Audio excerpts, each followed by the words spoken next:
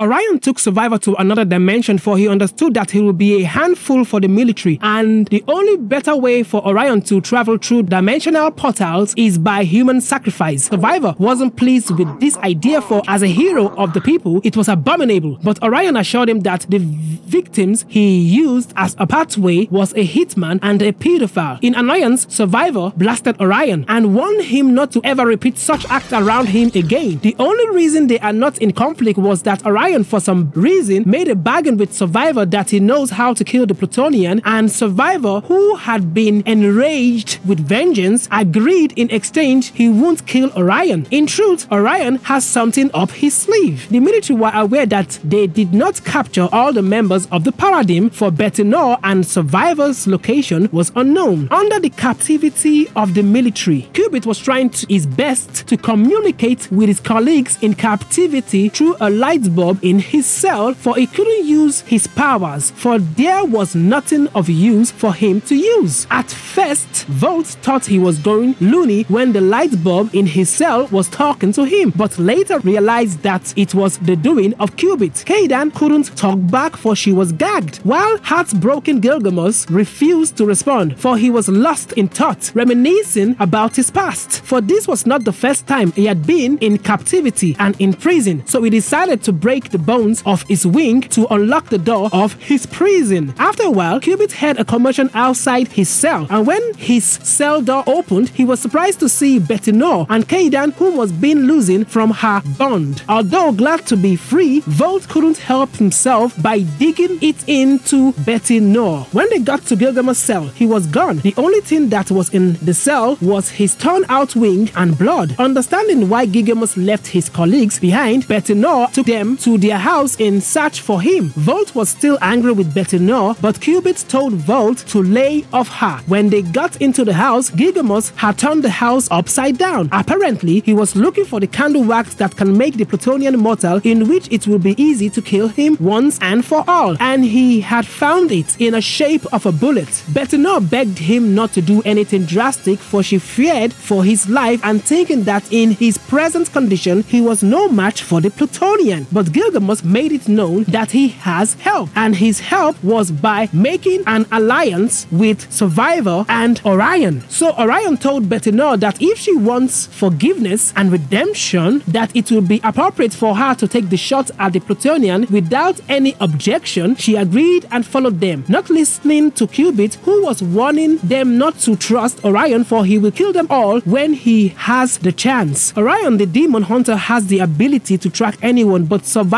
told him not to bother, that he knows how to draw out the Plutonian by making their location known, which was the Grand Canyon, for it will minimize collateral damage. And out of nowhere, Samsara, whom had been inhabited by Modeus, appeared from nowhere. They were shocked to see him alive and in his right senses. He warned them about the Plutonian, for he is angry and he is coming for them.